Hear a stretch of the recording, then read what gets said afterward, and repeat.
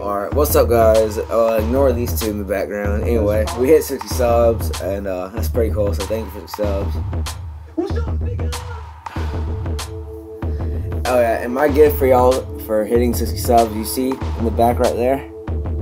Yeah, no Minecraft sword anymore now. But yeah, thanks for the subs.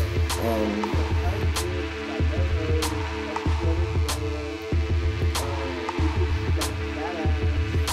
Yeah, take care, guys.